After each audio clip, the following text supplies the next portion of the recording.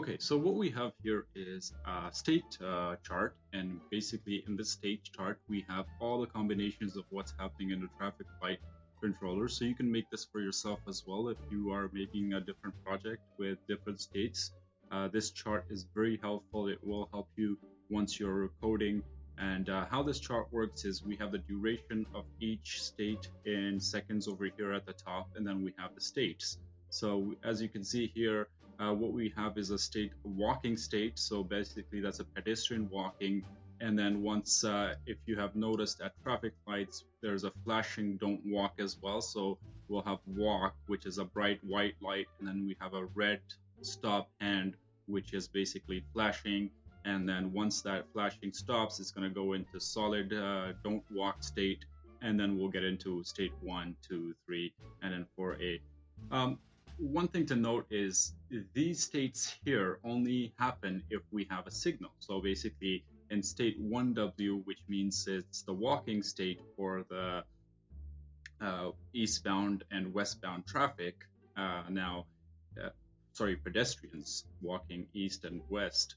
Um, that only occurs if we have someone at the set of lights that hits the button and then the signal is taken to uh, the system, and the system basically prompts it to go into this state here. If we don't have a walk state, then basically we're going to start at number one. So one, two, three are basically our regular combinations when uh, north and south traffic are red, then we'll have east and west green, and then the second state would be then we'll have red, red, and then we'll have amber and amber, and then uh, state number three would be all red, and then we'll go into state number four. Now, we'll go only into state four if we don't have uh, anyone in the left lane um, here on the southbound traffic, or we don't have a pedestrian. So that's the only instance we'll go and jump into four. Else we'll jump into here or here, depending on what we get. So if we have someone here uh, in the left lane, we're not we're gonna make sure we don't have a walk at the same time because that could uh, you know, these people could run over the ones that are walking in the south lane as well. So uh, we, we want to make sure that that doesn't happen at the same time. So in this state, we'll only have an arrow here. Then if we do get a walk signal, uh, we'll go into this state. If we don't get a walk signal, then we'll basically jump from 4A into 4, 5, 6. And then at after 6, we'll see, okay, do we have a walk signal as well? No, we don't have a walk signal, so then we'll jump into one. So from six, we can go directly to one if we don't have a walk signal. Okay, to further demonstrate what's happening here, uh, I have a state diagram drawn for this chart over here. So this was a state chart. Now I've transferred this into a state diagram. This is the state diagram. Now, starting at state one here, we go into state two, state three, and basically everything that's happening in each, in each state is outlined here. Uh, as we get into stage three, if we do have a walk request, we're going to go into stage 4W, 4FD, 4D, uh, and then back to 4. If we don't have a walk request, we'll jump right to 4.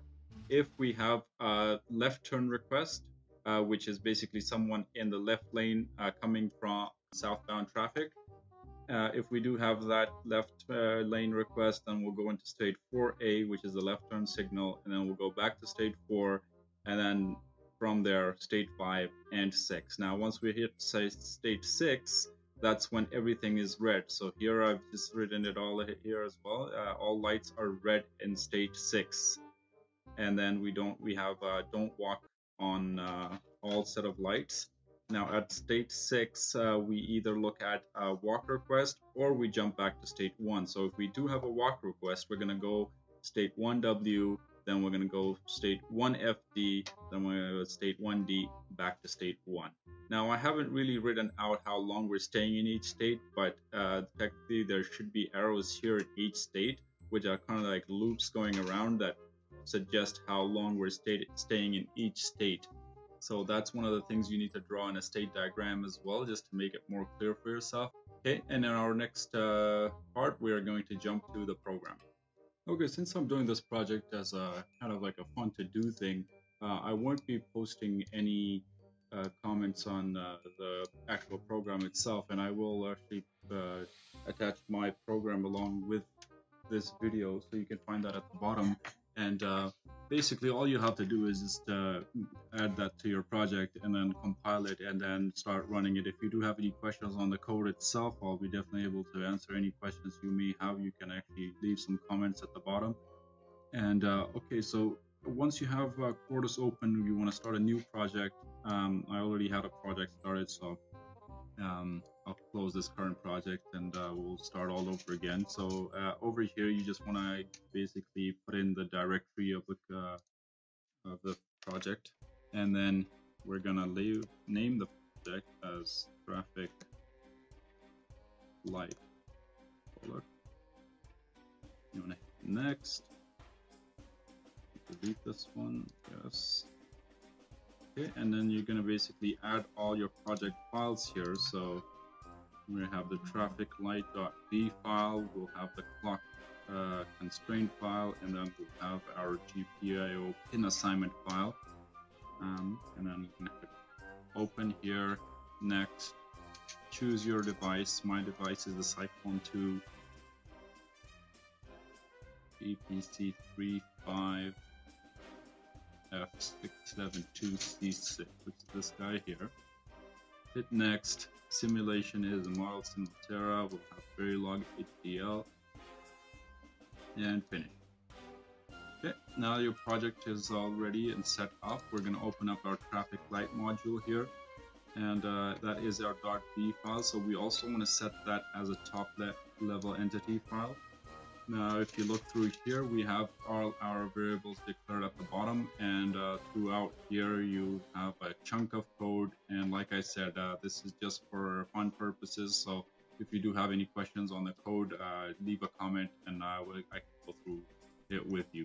Um, once we have all this set up, uh, here is our pin assignment file. So here we have all our pins assigned to specific areas of the DE2 board. What I'm doing is I'm using the 7 hexes displays uh, for all our northbound, southbound traffic uh, traffic lights and our don't stop and uh, uh sorry, a walk and uh, stops uh, flashers.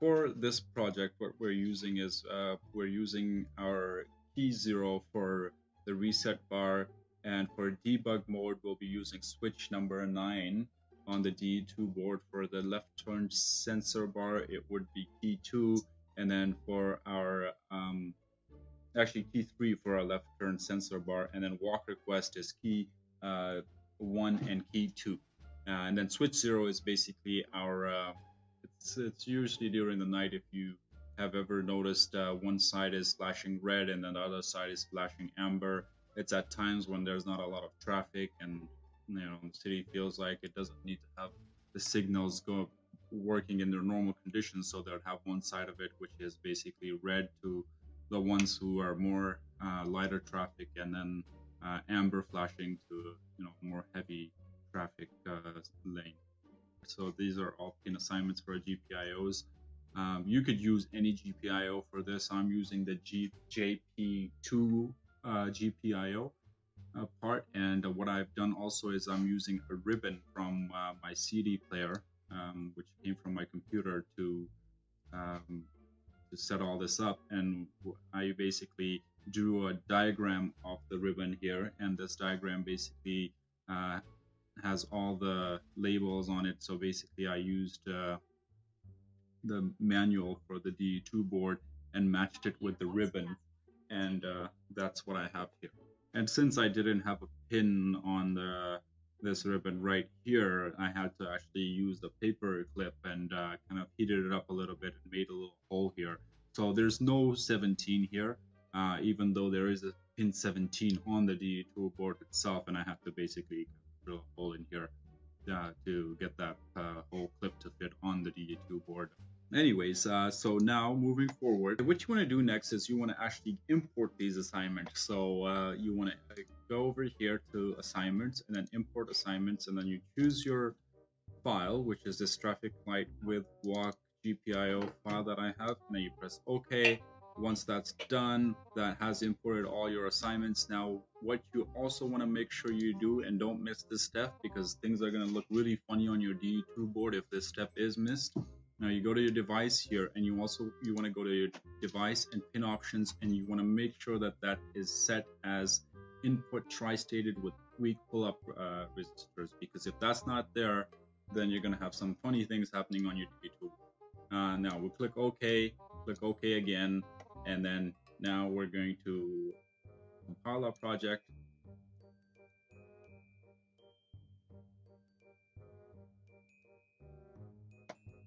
Okay, now click OK and we're going to go to tools here and programmer and start. So that will program our DE2 board. Now I'm going to jump uh, out of here and uh, show you the rest on our DE2 board. This might look a little messy here. Um, that's because uh, I just used a lot of wires on this project, but uh, how I've set this up is I have this as our northbound, uh, this is our southbound traffic, and then we have our eastbound traffic here, and then our westbound traffic on this side here. Now we have uh, a red, uh, amber, green, and then here what you can see is these lights that are on, these blue lights, are actually our don't walks. So um, as you can see, all our don't walks are activated right now. Um, and also on the DE2 board itself, what we have is we have northbound traffic, southbound traffic, we have the uh, east and west, and we have the don't walks as well. Also, um, for, we have switch 0 right here and switch 9. Now those two switches are important because if we want to go into debugging, as you can see, it's taking uh, quite a bit to you know change each uh, state. So if you want to speed things up, uh, that's when we basically pull up switch 9 and that will speed things up a little bit. And then we can see the action uh, a bit more faster and uh, not have to wait for so long. Uh, and as you can see, as these turn off, these turn on, and it's vice versa. Now, if we do have uh, signals coming in, so now let's do the testing for our signals, and we can look here. Um, this light over here is for our uh, left sensor. So if we have someone in the left lane over here coming from our northbound, we have someone in our left lane, uh, that light basically is an indicator for them to go left. So they're allowed to go left. But once they're allowed, if they're allowed to go left, these two have to be red. So that's what we're going to test right now. So let's uh, see what happens. So now key zero is our reset. So if we hit key zero, this is basically our reset mode right now. And uh, if we hit key one, let's see what happens. There we go. So key one basically, uh, this is going too fast for us. So let's just slow it down a little bit. Now I'm going to hit key 2, which is basically... You see what's happening here? This is the walk, basically. So pedestrians are walking right now. Uh, so our walk light is on. And what's going to happen next is our don't walk is going to start flashing. So that's our don't walk. Now it's flashing. And once that stopped flashing, um, the lights are going to slowly transition to the red state. And as I said, we can speed things up a little bit if we press, we, if we pull up 9 here, so we'll speed things up. There we go. So now it's uh, working as normal. Now let's see what happens when we pull up switch uh, 0 and that's the one I was talking about earlier where one side is going to be flashing red, the other is going to be flashing amber. There we go. So now we can just turn it down a little bit just to see it. So now we're here, this side east-west is flashing amber and uh, north and south is flashing uh, red. Now what we're also going to do is we're going to see what happens when we have someone in our left lane and then we have we're going to turn that switch back on back off and uh, key one is actually our left lane guys so that's only going to happen after this transition here now we have green here and red for these guys once this gets back to um, red let's let's speed it up a little bit more